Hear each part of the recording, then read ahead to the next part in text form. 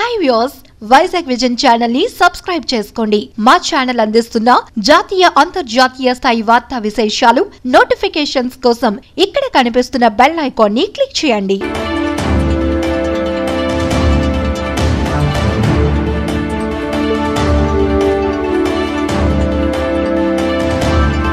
అరకు రైలు ప్రయాణం భలే కిక్కిస్తుంది కదా? ఎత్తైన కొండలు కోనలు గుహల మధ్య వయ్యారంగా సాగిపోయే రైల్లో ప్రయాణం సరికొత్త అనుభూతి ఇస్తుంది. ముఖ్యంగా అద్దాల రైల్లో ఈ అందాలు మరింత మైమర్పిస్తాయి. రోజు విశాఖపట్నం నుంచి అరకుకు వెళ్ళే కిరణ్డోల్ ప్యాసింజర్ చివరిలో ఈ విస్టాడోమ్ రైలు బోగీని అమర్చుతున్నారు. ఈ రైలు ప్రత్యేకతలు ఏంటంటే ఈ రైలు సముద్ర మట్టానికి పదమూడు వందల కిలోమీటర్ల ఎత్తులో ప్రయాణిస్తుంది. పంతొమ్మిది వందల అరవైలో ఇనుప ఖనిజం తరలింపు కోసం నిర్మించిన ఈ మార్గం ఇప్పుడు పర్యాటకులను విశేషంగా ఆకట్టుకుంటోంది. ఇది దేశంలోనే ఎత్తైన broad gauge railway line. Vistadome అద్దాలు రైలు బోగీలో మొత్తం నలభై సీట్లు ఉంటాయి. భారత రైల్వే దీన్ని చెన్నైలోని ఇంటిగ్రల్ కోచ్ ఫ్యాక్టరీలో డిజైన్ చేయించింది. ఈ ఎయిర్ కండిషన్డ్ విస్టాడామ్ బోగీకి పొడవైన పెద్ద అద్దాలతో కిటికీలు అమర్చారు. ఒక్కో గ్లాసు విండో సైజు రెండు వేల రెండు వందల ఇంటూ పన్నెండు వందల యాభై మిల్లీమీటర్లు ఉంటుంది. ఈ అద్దాల కిటికీల ద్వారా కొండలు లోయలను స్పష్టంగా చూడొచ్చు. చైర్ కార్ బోగీ తరహాలోనే ఈ విస్టాడోమ్ బోగీలో కూడా రెండు వరుసల్లో రెండేసి విలాసవంతమైన కుర్చీలు ఉన్నాయి. సీట్లకు పుష్ బ్యాక్ సౌకర్యం కూడా ఉంది. ఈ సీట్లను ప్రయాణికులు గుండ్రంగా తిప్పుకుంటూ అద్దాల నుంచి ప్రకృతిని వీక్షించవచ్చు. బోగీకి ఒక చివర పెద్ద అద్దాలతో ప్రత్యేక లాంజ్ ఏర్పాటు చేశారు. ప్రయాణికులు ఇక్కడ నిలుచొని ప్రకృతి అందాల్ని వీక్షించవచ్చు. భోగి పైభాగంలో కూడా అద్దాల కిటికీలను అమర్చారు. ఇవి కాంతి నిరోధక అద్దాలు. అంటే వీటి నుంచి సూర్యకిరణాలు భోగిలోకి ప్రవేశించవు అన్నమాట. జీపీఎస్ ఆధారంగా పనిచేసే డిస్ప్లే బోర్డులు రాబోయే స్టేషన్ పేరు తదితర వివరాలను చూపిస్తుంది. ప్రకాశవంతమైన కాంతి కోసం భోగి మొత్తం ఎల్ఈడి లైట్లను అమర్చారు. వికలాంగుల కోసం వెడల్పైన సైడ్ డోర్ ఉంది. సెరామిక్ టైల్స్తో కూడిన అత్యాధునిక టాయిలెట్స్ని ఉన్నాయి.